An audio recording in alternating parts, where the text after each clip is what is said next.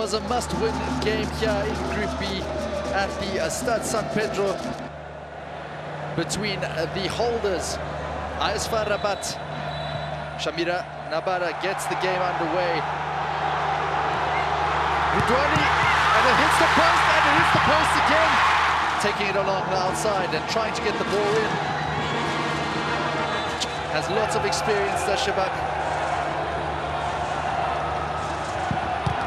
And he's straight at the goalkeeper. And the opportunity for the Moroccans. Can they finally get the goal? And they do.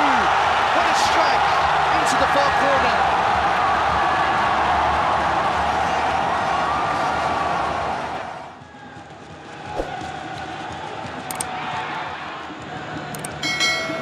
ASFAR was already winning the game, all sorts of pressure, and it was the woman of the match, Fatima Tagnaout, who was setting up all the chance opportunities.